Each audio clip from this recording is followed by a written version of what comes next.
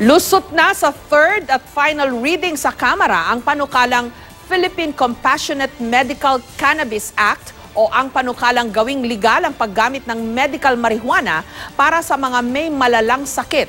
163 ang bumoto ng yes, limang no at tatlo ang nag-abstain.